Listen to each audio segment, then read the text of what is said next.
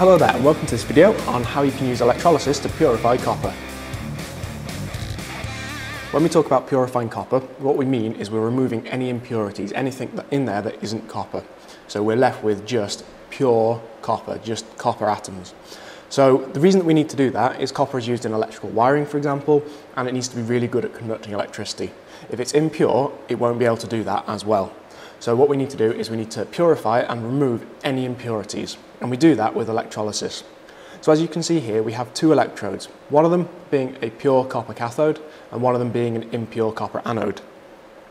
What happens is we then use a copper sulfate electrolyte, so there's copper ions all the way throughout, and the the copper from the impure copper anode will move into the solution and then move over to the pure copper cathode.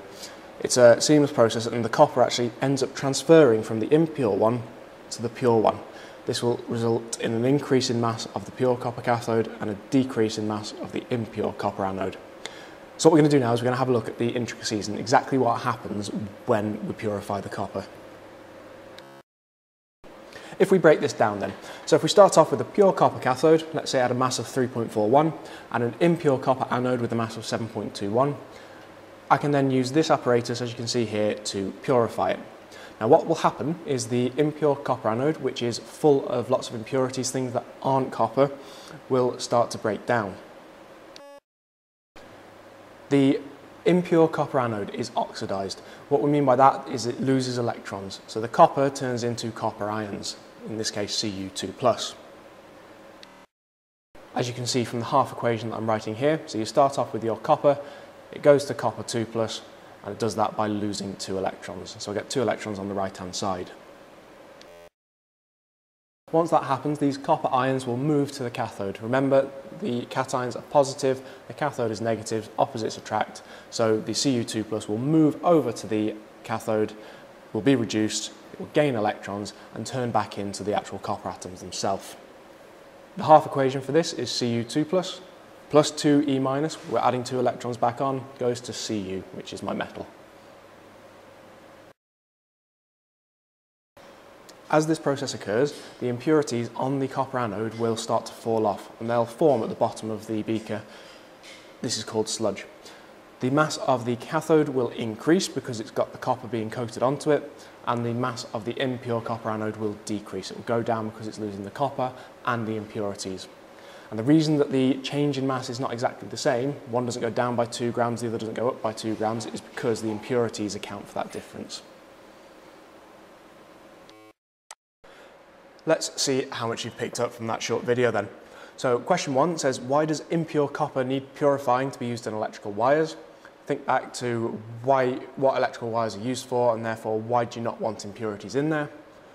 Question two, what happens to the mass of copper electrodes during the electrolysis of copper sulfate? So what happens at the cathode, what happens at the anode? Do they increase or decrease? Number three, explain the change in mass of the copper electrodes during the electrolysis of copper sulfate using those copper electrodes. So talk about what happens first, what happens to the electrons, is it oxidation reduction, have it moving over to the pure electrode, what happens there? Number four, write the half equations for both the cathode and the anode. And then number five, explain why the decrease in mass of the impure copper electrode is not the same as the increase in mass from the pure one. What is it that forms, which is that difference in mass? Pause the video, have a go, we'll see how you've done shortly.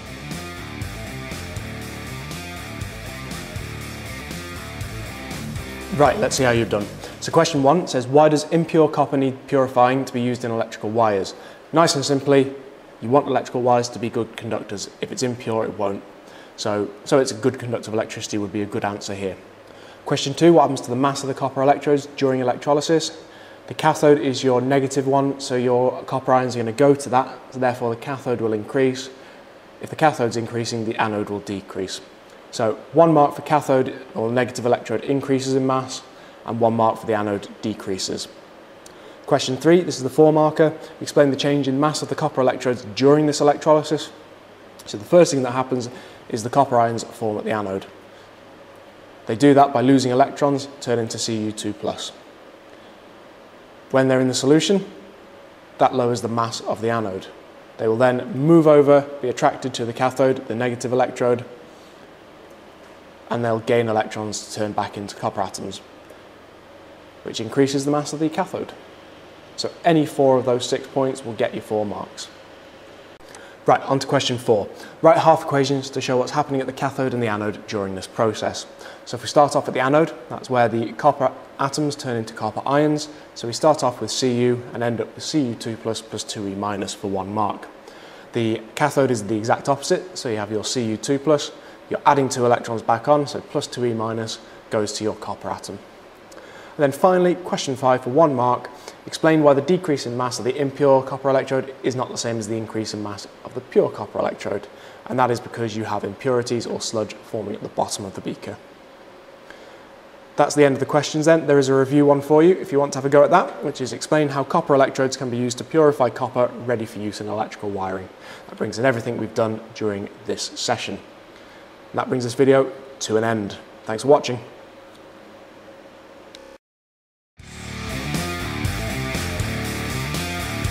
Hi guys, hope you enjoyed the video. If you did, click on subscribe, visit the website and have a look at the latest video. Thanks for watching.